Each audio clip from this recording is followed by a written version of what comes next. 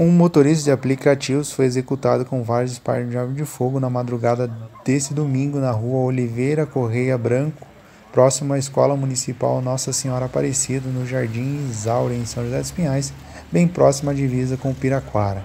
Socorristas do CIAT estiveram no local, mas nada pôde ser feito. O motorista identificado como Lucas acabou vindo a óbito no local.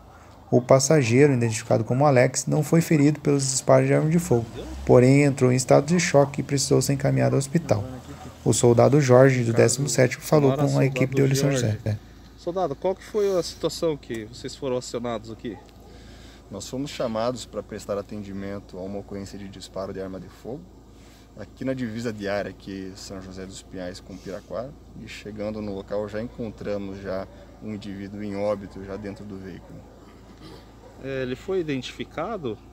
Ainda não foi identificado. Eles estavam em dois ocupantes no veículo. É, o segundo ocupante que foi medicado estava em estado de choque e não soube passar mais informações. Esse, ele seria motorista de aplicativo? Vocês têm essa informação? As primeiras informações que temos é que sim, ele era motorista de aplicativo e segundo informações ele estava realizando uma corrida no local é, revólver, pistola foi usado? Hum, as primeiras informações indicam que se trata de uma pistola. Né? Foram encontrados alguns stores ali, a princípio munição calibre 380. Show. Show. Mais alguma coisa?